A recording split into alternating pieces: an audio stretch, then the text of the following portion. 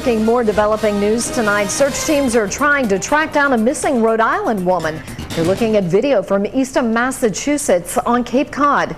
State police have been searching on land, sea, and air for 37-year-old Rachel Collins of West Warwick. Collins was reported missing by her roommate yesterday. West Warwick police tell us her car was later recovered in Eastham. Investigators believe she parked her car there sometime late Friday night or early Saturday morning. Anyone with information on her whereabouts is asked to contact West Warwick Police.